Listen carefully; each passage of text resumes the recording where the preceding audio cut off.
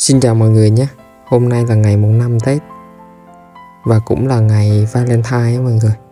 Nên đi ra đường Thấy bày bán rất là nhiều hoa à, Quà tặng cho ngày Valentine này. Đây là khu quảng trường thành phố Bảo Lộc Nơi mọi người à, đang bày bán những cái bó hoa đủ màu sắc Để à, du khách có thể mua và tặng nhau dịp Valentine nhé nguyên cái con đường à, ngay trước quảng trường thành phố Bảo Lộc tỉnh Lâm Đồng thì có rất là nhiều hàng quán à, bày bán này mọi người.